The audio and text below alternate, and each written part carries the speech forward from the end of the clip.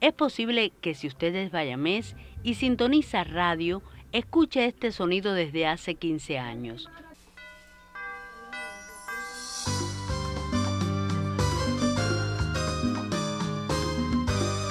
Transmite CMNL Radio Ciudad Monumento a través de los 95.3 MHz en FM Stereo. Como todo en la creación, hay una génesis y continuidad.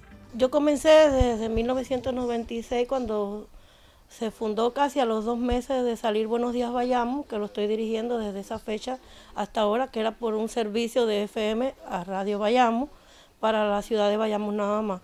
Y la, la revista, el programa duraba tres horas, que era Buenos Días, era lo único que había de programación. Después pasamos hace 15 años, se formó como una emisora, siguió el programa Buenos Días Vayamos, y para mí ha sido mucho porque nosotros tenemos que, que reflejar la vida cotidiana del Bayamés. Contextualizar lo puesto en el éter radial es prioridad. Salimos al aire todos los días desde las 7 de la mañana hasta la 1 de la tarde. 12 programas eh, de manera general, que de ellos 11 son de producción propia y uno se transmite en cadena con la radio provincial, que es el noticiero. Muchos de los programas han acompañado a esta radio en sus 15 años, pero otros son nuevos porque son producto de la retroalimentación con la audiencia. Desde el día a día, la sabia joven sabe de las particularidades en los espacios informativos. En la parte de la inmediatez de la noticia hay que concretar más a la hora de articular contenido.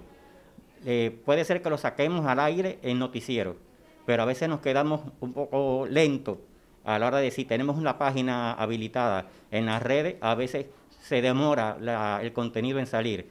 No, tenemos, no contamos aquí en emisora con un sitio web que nos facilite eso. Desde el oficio, identificar retos es una fortaleza. Eh, de hecho, el eslogan de la emisora que dice ser voz de la segunda villa cubana me compromete, me obliga a nutrirme y a parecerme más a ese vayamo intrépido y natural y continuar el trabajo que muchos han dejado y que por supuesto representa al menos mantenerlo o superarlo.